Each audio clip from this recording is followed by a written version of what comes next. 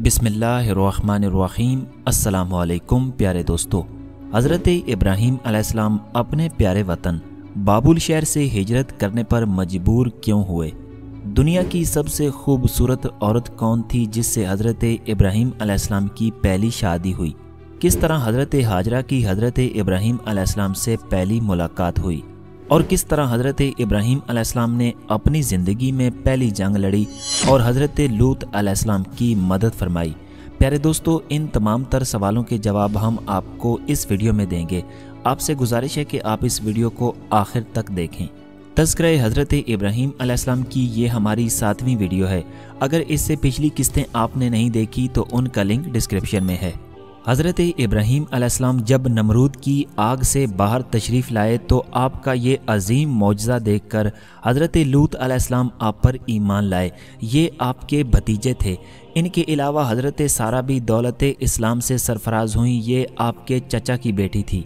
हज़रत इब्राहीम अलैहिस्सलाम और आप पर ईमान लाने वाले वो अफराद जो नमरूद की ममलिकत यानी उसके मुल्क में ज़िंदगी बसर कर रहे थे, उनका ईमान पर साबित कदम रहना मुश्किल हो गया तो आपने अपने वतन से हिजरत करने का इरादा किया। चुनाचे अहल ईमान का ये मुख्तसर काफ़िला, बाबुल की खुशहाल ममलिकत जो कि इनका प्यारा वतन था छोड़कर राह खुदा में हिजरत पर रवाना हो गया। इनकी पहली मंजिल हीरान का इलाका था। वहाँ कुछ अरसा क़याम किया, फिर आपने आगे सफ़र शुरू कर दिया। एक रवायत के मुताबिक हज़रत इब्राहीम अलैहिस्सलाम के वालिद तारख का इंतकाल यहीं पर हुआ। वहाँ हज़रत इब्राहीम अलैहिस्सलाम ने दीन की तबलीग शुरू कर दी। आप दीन की तबलीग फरमाते फरमाते फ़लस्तीन तक पहुँच गए। इस सफ़र में आपके हमरा हज़रत सारा हज़रत लूत और हज़रत लूत अलैहिस्सलाम की बीवी भी थीं। हज़रत इब्राहीम अलैहिस्सलाम ने फ़लस्तीन के गरबी अतराफ़ में सकूनत इख्तियार की। इस ज़माने में ये इलाका किनानियों के ज़ेर इकतदार था। फिर करीब ही नाबल्स के इलाके में तशरीफ़ ले गए, वहाँ कुछ अरसा क़याम किया। इसके बाद सफ़र करते करते हज़रत इब्राहीम अलैहिस्सलाम मिस्र तक पहुँच गए। हज़रत सारा अपने ज़माने की तमाम औरतों से ज़्यादा हसीन जमील और ख़ूबसूरत थी। आप मिस्र की हदूद से गुज़रे इस वक्त मिस्र के फ़िरौन का नाम सादफ बिन सादफ था।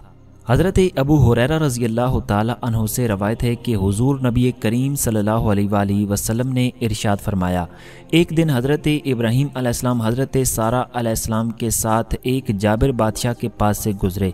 इस बादशाह को पहले ख़बर दी गई थी कि यहाँ एक आदमी आया है जिसके साथ एक खूबसूरत औरत है। बादशाह ने हज़रत इब्राहीम अलैहिस्सलाम को बुलाया और हज़रत सारा के मुतालिक पूछा, इससे तुम्हारा क्या रिश्ता है? तो आपने फरमाया, वो मेरी बहन है। हज़रत इब्राहीम अलैहिस्सलाम ये जवाब देखकर जब हज़रत सारा के पास पहुँचे तो फरमाया, सारा सतह ज़मीन पर मेरे और तेरे अलावा कोई और मोमिन नहीं। इस ालिम बादशाह ने तेरे मुतालिक मुझसे पूछा तो मैंने कहा, वो मेरी बहन है, तू मेरी तकजीब ना करना। बादशाह ने हज़रत सारा को बुलाया।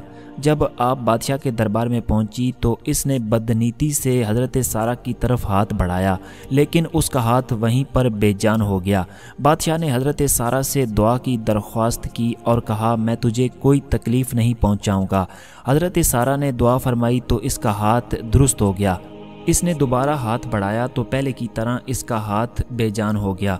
इसने दोबारा दुआ की, दरख्वास्त की और वादा किया कि अब मैं तुम्हें कोई नुकसान नहीं पहुंचाऊँगा। हज़रत सारा ने दुआ फरमाई, इसका हाथ फिर दुरुस्त हो गया। बादशाह ने अपने दरबारी को बुलाया और कहा कि तू मेरे पास किसी इंसान को नहीं, बल्कि किसी जिन को लाया है।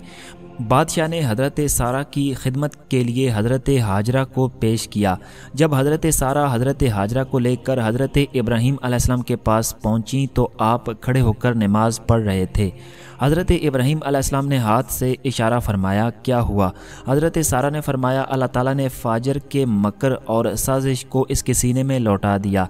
इसने मुझे खिदमत के लिए हज़रत हाजरा दे दी है। प्यारे दोस्तों इस तरह हज़रत हाजरा की हज़रत इब्राहिम से पहली मुलाकात हुई। हज़रत इब्राहीम अलैहिस्सलाम इसके बाद मिस्र से शाम की तरफ़ तशरीफ़ ले गए और सरजमीन फ़लस्तीन के मकाम असबा को अपना मस्कन बनाया। आपके भतीजे हज़रत लूत असबा से 24 घंटे की मुसाफत पर वाक़ एक बस्ती अलमतकफ़ा में रिहाइश पजीर हुए। हज़रत इब्राहीम अलैहिस्सलाम को असबा के बाशिंदों ने तंग किया तो आपने इसे छोड़कर रिमला और इलिया के दरमियान एक कता नामी बस्ती में तशरीफ़ ले गए और आपने वहीं पर क़याम फरमाया। हज़रत इब्राहीम अलैहिस्सलाम ने असबा के इलाके में एक कुआँ खुदवाया। वहाँ पर एक मस्जिद भी तामीर की। इस कुएँ का पानी बड़ा साफ़ और शफाफ था। आपकी भेड़ें भी इस कुएँ से पानी पीती। जब अहल सबा ने आपको अजियतें दी तो आप वहाँ से कता नामी बस्ती में तशरीफ़ ले गए और इस कुएँ का पानी खुश्क हो गया। ये मुआजा देख कर वहाँ के बाशिंदों ने आपको तलाश किया। जब आप मिल गए तो अपने रवैये पर निदामत का इजहार किया और वापस आने की दरख्वास्त दरख्वास्त की। आपने फरमाया, मैं इसमें वापस नहीं जाऊँगा जहाँ से मुझे निकाल दिया गया था। उन्होंने कहा कि वो पानी जो आप नोश फरमाते थे, जैसे ही वो हमने पानी पीना शुरू किया, वो पानी जेर ज़मीन चला गया। आपने उन्हें अपने रेवड़ में से सात बकरियाँ अता फरमाई और फरमाया, इन्हें ले जाओ, जब तुम उन्हें इस कुएँ पर ले जाओ तो वो पानी ऊपर आ जाएगा। इसका पानी पहले की तरह शीरी और शफाफ हो गया। इसका पानी पीते रहना मगर हायजा औरत वहाँ पर पानी ना भरे।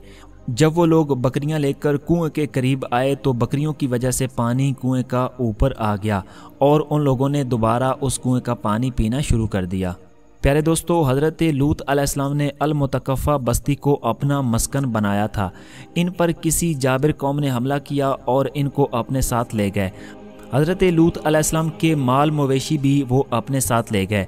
जब ये ख़बर हज़रत इब्राहीम अलैहिस्सलाम तक पहुँची तो आप 318 अफराद का मुख्तसर लश्कर लेकर गए और हज़रत लूत अलैहिस्सलाम और इनके मवेशियों को वापस ले आए। अल्लाह और इसके रसूल के दुश्मनों को बेदरीख कत्ल किया, वो शिकस्त खाकर भाग गए। आपने शुमाली दमिश्क तक इनका मुहासरा किया और बरज़ा के मकाम पर पड़ाव किया। बरज़ा को इसीलिए मकाम इब्राहीम कहा जाता है, क्योंकि हज़रत इब्राहीम अलैहिस्सलाम ने वहाँ पर अपना लश्कर ठहराया था। प्यारे दोस्तों, ये थी तस्करा इब्राहीम अलैहिस्सलाम की सातवीं वीडियो। अगर आपको हमारी ये वीडियो अच्छी लगी तो इसको लाइक करें, हमारे चैनल को सब्सक्राइब करें और बेल आइकन को लाजमी ऑन कर लें ताकि आपको हमारी हर नई आने वाली वीडियो का नोटिफिकेशन मिल सके। तब तक के लिए अल्लाह हाफिज़ इन हम मिलेंगे आपको एक नई वीडियो में।